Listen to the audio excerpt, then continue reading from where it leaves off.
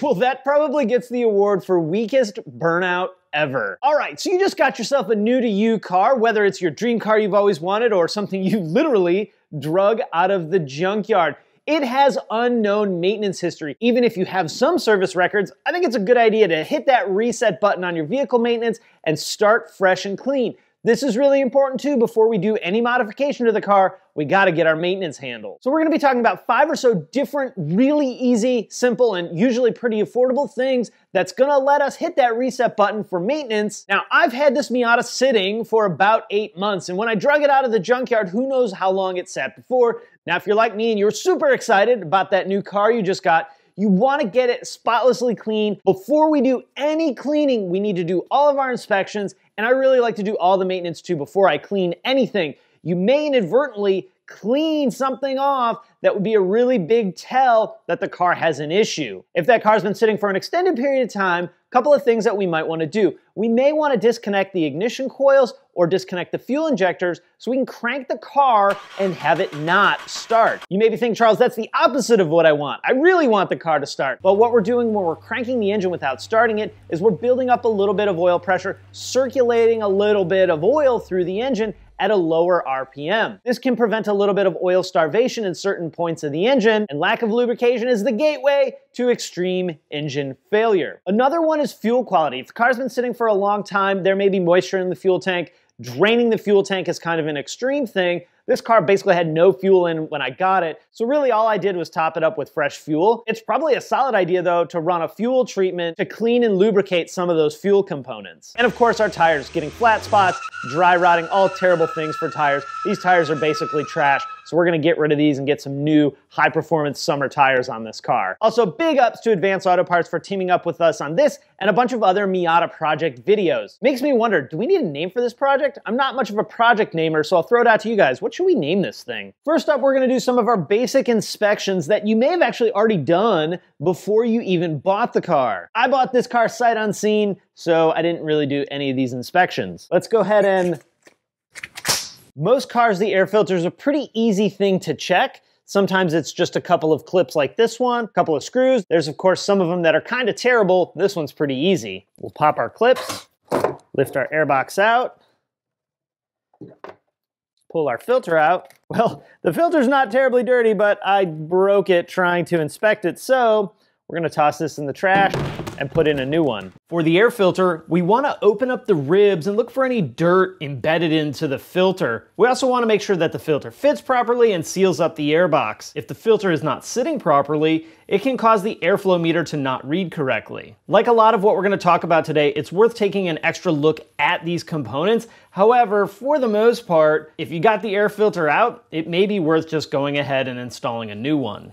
Next, let's do an inspection on our brake fluid and this car's a manual transmission, so it's got clutch fluid as well. They actually use the same fluid for both, but it's two separate reservoirs. A visual inspection for brake fluid, we're mostly just looking at the color and to see if there's any dirt or debris in here. This is a little bit yellow, which isn't always a bad thing. They do make test strips you can use to test these two fluids, but these two are those systems that I really rather just get fresh, clean fluid in it and even with those test strips that won't tell you whether it's the correct fluid .3.4.5.1 or not.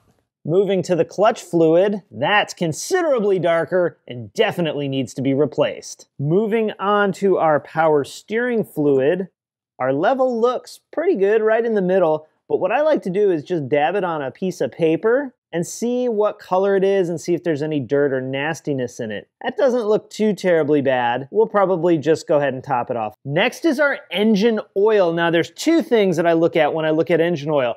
I of course check the level and use the dipstick, but I also pull the oil fill cap and inspect this. I'll flip it over, look for any carbon buildup or oil coking on the oil fill cap that can be a sign of really poor maintenance on a vehicle. Now you might also see this white kind of gooey material on the oil cap. This is a sign of moisture buildup inside the engine. This could be due to something as simple as too many short trips and the engine never really fully getting up to temperature. Could also be something much worse like a blown head gasket. So if you see that moisture buildup, don't panic, but we do want to do some extra inspections, make sure that we don't have a serious issue.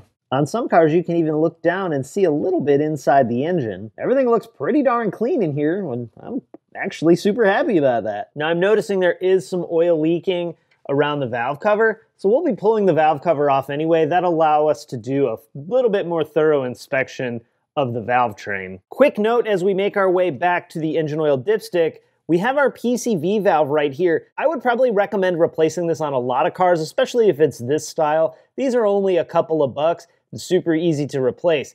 I'm not gonna do this one today. We'll do the PCV valve when we do our oil leak repair, but if it's only a couple of bucks and super easy to replace, go ahead and replace it. Unfortunately, not all of them are that easy and not all of them are that cheap. Kind of like we did with the power steering fluid, we're gonna do with our engine oil. We'll pull our dipstick, we'll check our level, which looks kind of overfilled, and then we're gonna run it on a clean piece of paper and see what the oil looks like. If you have anything crusty or sparkly in that oil, when you run it on the piece of paper, we may have bigger issues. This looks pretty normal. Also, you can rub it between your two fingers and get a feel for the oil. Doesn't work too well with these kind of textured gloves, so usually you wanna do that barehanded. We're gonna take a look at our coolant next, and there's two things we're gonna look at. We're gonna look at the fluid reservoir, which based on the outside looks like the level's right here. Unfortunately, it's not. It's just super dirty. So we may take this off and get it a little bit cleaner. If your car has a radiator cap, we're gonna pull the radiator cap and inspect it. Very, very important, this next part. Never open when hot. That is a good way to get yourself severely, severely hurt. Our car's been sitting for a couple of days, so not even warm. The engine's not even warm. Your cooling system's under pressure. That's how it prevents the coolant from boiling. So if you open this when your car's hot, you're gonna get a big old geyser of coolant coming up and out. Absolutely don't want to do that. Be extra careful here. We'll go ahead and look down in there. The coolant doesn't look too crazy, so I think we'll be able to just get away with a drain and fill. If it was nasty or brown or gross or anything weird like that, you'd probably want to do a lot more thorough flushing rather than just drain and fill. Because this throttle body is super easy to get to and super easy to inspect, I'm gonna just take this intake boot off really quick and take a look. We can have a little bit more thorough inspection and decide whether we need to clean the throttle plate or whether it's good to go. That's pretty goopy. We might just go ahead and take it off and clean it. We also want to make sure we're doing a good inspection of our coolant hoses, make sure that none of those are an issue. We want to look at our drive belts, either serpentine or V-belt, looking for any cracking, any tearing, and we want to look at the ribs and make sure those look good too. We'll be doing a timing belt video, and in that video, we'll be replacing those belts but this is something super easy and super quick to look at and maybe pretty easy to replace. It kind of depends on the car. We want to make sure that we're putting the car up in the air as well, inspecting our brakes, inspecting our suspension components. I've done more in-depth videos on both of those things, so I'll be sure to link those up and you guys can check them out. We also want to go ahead and take a look at the wiper blades, and one thing I'm noticing is the edge of this blade is not even hitting the windshield, so these are probably not the correct wiper blades. Whether they're good or not is irrelevant, because if they're not even hitting the windshield, it doesn't really matter. Wiper blades are usually super cheap, super easy to replace, so we're gonna go ahead and get ourselves a new set of these as well. So we got a couple of initial checks done. You'll notice that I didn't do a couple of things. I didn't check the transmission fluid. I didn't check the diff fluid. Most vehicles now don't have a dipstick for either one of those. So really by the time you get to checking them, you might as well just go ahead and put fresh fluid in them. So when we're draining all of our fluids, we're gonna capture some samples so that we can evaluate these fluids. May also be a good idea to go ahead and check your spark plugs. We've done new spark plugs on this. I'll link that video up for you guys as well. Next up, we gotta get our game plan together. Is a drain and fill gonna be enough or do we need to do a pretty hardcore flush on some of these systems? I think for this car, we're gonna be okay just doing a drain and fill on everything. The only thing extra I'm really gonna do is run some flush through the engine. We'll be doing an engine oil and filter change with an engine oil flush. We will drain and fill the coolant. We will drain and fill the transmission. We will drain and fill the rear diff. We'll flush our brake fluid. We'll flush our clutch fluid. We'll replace that engine air filter. We'll replace the fuel filter. This is also a great opportunity to take some time to document all the things that we're going to be doing. What oil did we use? What transmission fluid did we use? What the mileage currently is on the car? And what the condition of the fluid was when we drained it. When it comes to using the right fluid and how much of each fluid, definitely going to want to refer to the vehicle repair manual. Make sure that you're using the right stuff. Luckily, most of this stuff can be done with just simple basic hand tools. A couple of tools you may not have that are going to make this job so much more easier and a little bit more fun is going to be a small hand pump to flush our brake fluid and clutch fluid and one of these lubricant pumps that screws onto the oil bottle, that makes doing the transmission in the diff much, much easier. Oh, don't forget your personal protection equipment, and we're also gonna need something to drain all of our fluids into. Something I like to pay attention to as well when I'm draining these fluids is I don't mind mixing oils together, but I usually keep the oils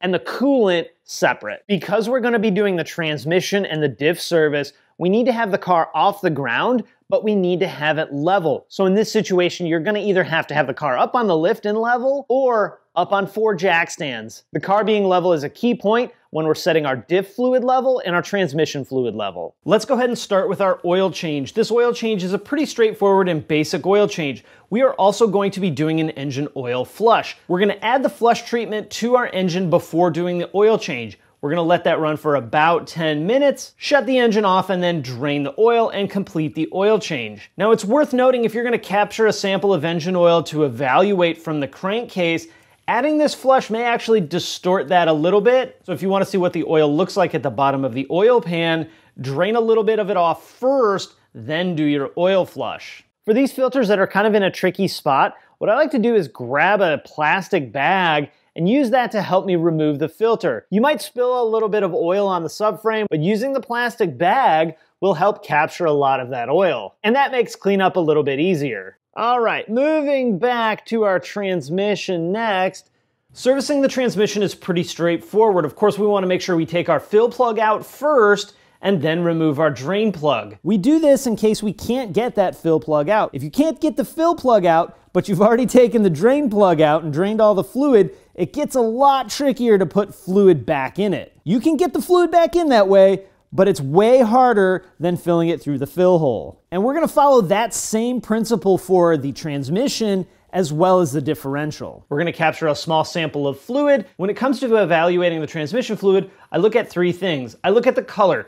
Is it really light, like what we drained out of this transmission? That means it's probably been serviced recently. If it's very dark, that means this fluid's probably been in here a while and is definitely a good thing that we're changing it. I'm also looking close at that fluid sample to be sure there's no metal in it. This will look like somebody dumped glitter inside of the transmission fluid. Seeing a little bit of that is actually pretty normal we don't want to see a glitter bomb, and we definitely don't want to see chunks. Also, taking a look at the drain plug, which is typically magnetic, is another good practice. You'll almost always see some kind of contaminant on that magnetic drain plug, which is good because that means it's not rotating around in our transmission. But this right here, what we're looking at, is nothing to panic over. For this job, I like pumps like this. If you've never used a pump like this, this works so, so well. Also, if you don't have a seam ripper in your toolbox, get one it's a must have. What we'll do is we'll grab our bottle of transmission fluid. We'll remove the squirt top that it came with. We'll put our little hose extender on. This one doesn't fit. Well, there you go. Tech tip. Make sure you buy, buy the right one that fits in the bottle that you're using. So I guess we'll just cut the top off of this bottle and use it anyway. Normally what you would do though is you would screw this on to this bottle and then just pump it right in. It makes it really, really easy. Nothing like doing easy things the hard way. There we go. Now, now we can go ahead and fill our transmission up. Perfect. When it comes to filling the transmission up, we're gonna use that little pump bottle. We're gonna pump it until fluid starts to trickle back out. Then we'll go ahead and put our fill plug in. And I think next time we do a trans service on this car, we're gonna get a new fill plug. Doing the rear differential service is pretty much the same as doing the transmission service. We'll remove our fill plug first, then we'll remove our drain plug, drain all of the fluid, put the drain plug back in, fill it up till it slightly overflows out of the fill plug, and tighten everybody back down. Evaluating the differential fluid is pretty much the same as the manual transmission fluid. We're looking at color, we're looking for metal contamination, and the big one is the smell. Burnt differential fluid is probably one of the worst smells on the planet. If you have burnt differential fluid, you will 100% know. In fact, it'll probably stink up your garage for like a week. Also, when we're filling our transmission or our differential, we need to make sure that our car doesn't require any kind of special additives. Some vehicles with a limited slip differential will require an additive to the fluid. As with all of these fluids, be sure you're referring to your vehicle owner's manual or the repair manual. Make sure you get the right stuff. Next up, let's go ahead and get our brake fluid serviced. We are going to start under the hood. We want to try and extract as much old brake fluid out of the reservoir as we possibly can. Something like a turkey baster works really well for this. Once you get as much of that fluid out as you can, go ahead and top it up with new fluid that meets your car's needs. In our case, we're going to be using DOT 4. Next, we're going to go to each wheel and we're gonna pump the brake fluid out until the fluid coming out of the bleeder is clear. Now we are doing a brake fluid flush here not bleeding the brakes. This means that the order that you do it is not quite as important as it is when you do a bleed. When you do a bleed, that means we've replaced something in the system and we need to remove air. Periodically, you're gonna need to go and double check the fluid reservoir and top it off. Make sure 100% that you never let this run dry. If you let this run out of fluid, you're gonna have to do that proper bleed procedure and it can be kind of a headache, especially when you have a car with ABS. Even though it doesn't really matter which wheel we start, I usually start at the one farthest away from the brake reservoir. This is your longest brake line, so this is the one that's probably gonna take the longest to flush out. And we'll just flush this out until this fluid coming through this tube right here is clean instead of yellow. The main reason we want to flush our brake fluid is the brake fluid is hygroscopic, which means that it absorbs and holds moisture. And that is a good thing. This helps prevent rust from damaging our calipers and our brake lines and all of our brake components. If too much moisture builds up, it can lower the boiling point of your brake fluid and can lead to a mushy brake pedal feel. It's also important to note that if your brake fluid is low, you really don't want to just top it off. There's really only two reasons why brake fluid is low. One, you have a fluid leak, and that can be a serious problem. But the fluid level also drops when your pads wear down. Now we are gonna do the exact same thing for bleeding the clutch. If we look through this right wheel well here, we can see the slave cylinder right at the transmission. Flushing this clutch fluid is just like flushing the brake fluid. We're gonna extract as much as we can out of the fluid reservoir, fill it back up, and then flush until we're getting clean fluid coming out of the bleeder. And of course, be sure you got the right fluid for this car. It actually uses brake fluid for the clutch.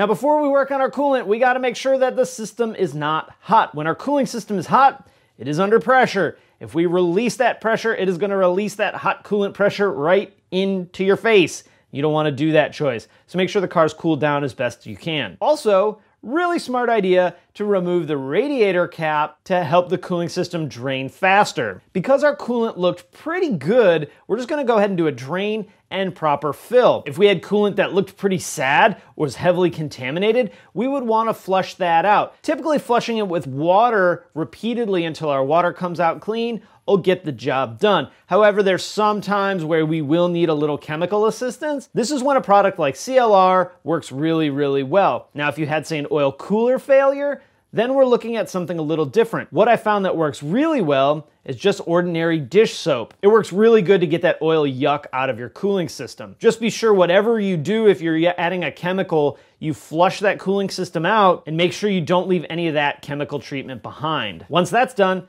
Go ahead and drain that water out and fill it up with good, fresh, clean coolant. When it comes to refilling our cooling system, I love to use a funnel like this. This will allow us to fill our system and any air bubbles to bubble out without making a huge mess. I generally put this funnel on as soon as I close my cooling system back up. That way the system has as much time as possible in order to bleed the air out. You may still need to start the car and let it run for a little bit to get the final little bit of air out, but putting the funnel in right away and starting to fill the coolant up as soon as you can will cut down that bleed time tremendously. I also went ahead and took the coolant overflow tank off the car and cleaned it out a little bit. A lot of times getting these really clean is almost impossible, so I just scrubbed it out with soap and water as best I could. I will tell you though, installing a new coolant reservoir or overflow tank completely changes the look of the engine compartment, and when they're not that expensive, I like to put a new bottle on.